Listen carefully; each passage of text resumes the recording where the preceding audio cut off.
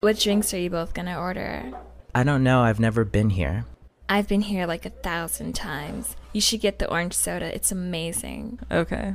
What would you ladies like to drink? Orange soda, please. I'll have the strawberry soda.